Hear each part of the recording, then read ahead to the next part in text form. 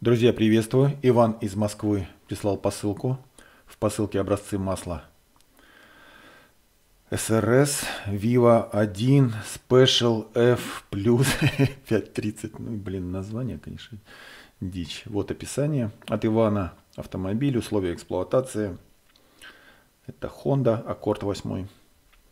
Так, здесь больше ничего нет. Там какая-то распечатка, не относящаяся к сути. Давайте распакую. Значит, вот на банке, если присмотреться, видно, подписано SRS Viva 1 Special Plus. Ну, название, конечно. Вот, свежая и отработка. Отличные банки, ничего не пролилось. Так, значит, данного масла еще не было. Я, честно говоря, вообще про него не слышал. Поэтому первым делом, естественно, обновлю спектрограмму на болванке. Создал болванку. Сейчас обновлю, посмотрим, что там намерит прибор. Как выглядит спектрограмма. Все, измеряет прибор спектр. Пару секунд. Вот такая спектрограмма. Видны такие ярко выраженные эстеровые ступени. Видите, мим, ну, напротив, да. Значит, где-то 0,16-0,17. Я бы оценил в 3% эстеры. Причем это не полиэстеры, обычные. Я так понимаю, что они до 1720.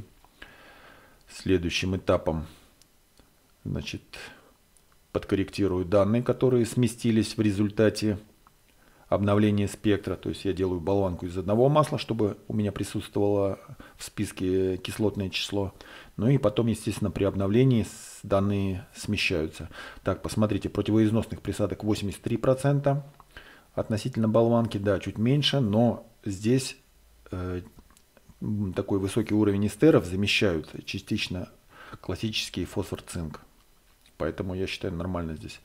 Да, сейчас уберу а, отрицательные значения по гликолю, саже. Вот, обратите внимание, сейчас я вам покажу. Так, э, кислотный прибор намерил 2,09, а щелочной 9. Ну, я считаю, что здесь вот, конечно, влияние эстеров есть, и поэтому щелочное подзанижено. Ну, возможно, даже и кислотное подзавышено. Кислотное я трогать не стал. Вот, а Щелочное я выставил по данным производителя 10,2. Они указывают. Правда, непонятно э, по какому ГОСТу. Ну, выставил уже и выставил. В принципе, если так подумать, по сути это не важно. Важнее дельта, которая между кислотным и щелочным. Это и есть вот ресурс э, масла. Все, эталон создан. Можно закладывать, проверять отработку. Это SLCF А3B4 ой, а, простите, А5Б5, значит, Honda Accord, как я сказал, 2010 года, 2.4 двигатель, К24Z3, 200 сил, почти 300 тысяч пробега, 278, 5 с небольшим на масле, 230 моточасов, средняя скорость 22 км в час и топливо Газпром нефть G-Drive 95. Так, значит, закладываю пару капель. И сейчас посмотрим, что намерит прибор. Так, смотрите, противоизносных присадок 57%. Но это, в общем-то, возможно, что и ничего удивительного. Пробег серьезный. Но плюс к тому, что здесь основную функцию все-таки, мне кажется, выполняют эстеры защитную. То есть, ну, я бы не стал так уже сильно зацикливаться на этом. Эстеры прибор их не воспринимает как противоизноску, но они именно как э, создают такую прочную термическую пленку и более толстую, чем фосфор-цинк. А, так, смотрите, 3,14 кислотное и 4,8 щелочное. А, есть сажи прилично, в принципе, но это такая городская езда, я так понимаю, нитрование, в общем-то, в порядке, никаких особых проблем нет. Ну, я бы не сказал, что мотор плохо работает, посмотрите, да, гликоль есть, но гликоль это может быть и не замерзайка, вот спирты.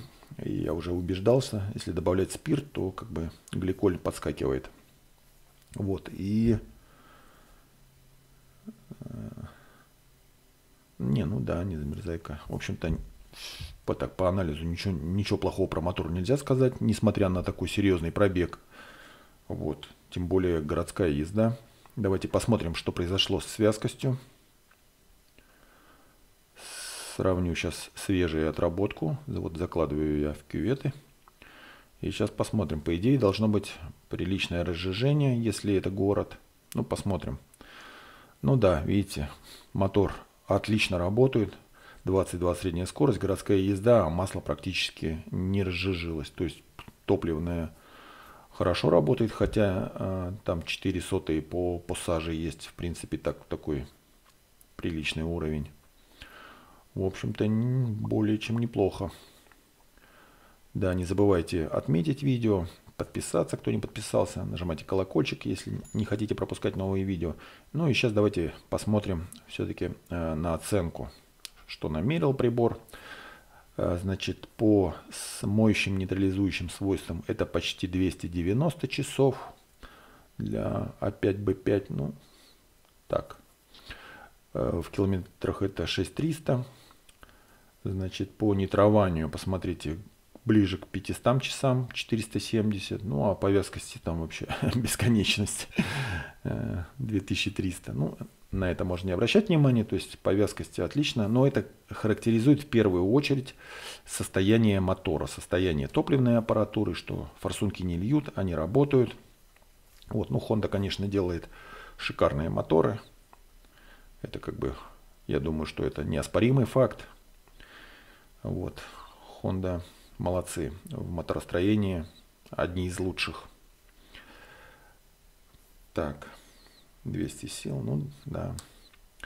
В общем-то, Иван, кстати, присылал, это уже второй образец от Ивана. До этого в этом же автомобиле использовался ликвимоли Молиген. Э, есть, э, значит, видео на канале. Я в конце видео, наверное, его вставлю, вот вставки, когда видео заканчивается, вот это можно будет посмотреть, я вставлю первым делом.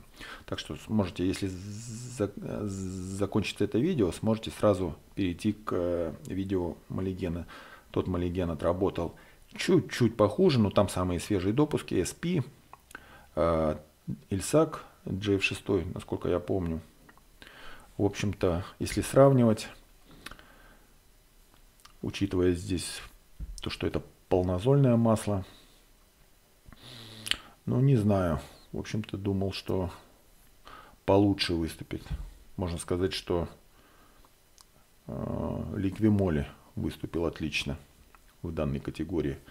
Ну, вот такой получился тест. Благодарю Ивана за предоставленные образцы, за поддержку канала. Всех, кто посмотрел данное видео, благодарю за это. Желаю всем удачи и здоровья. Берегите себя и близких. Увидимся в следующих видео. Пока.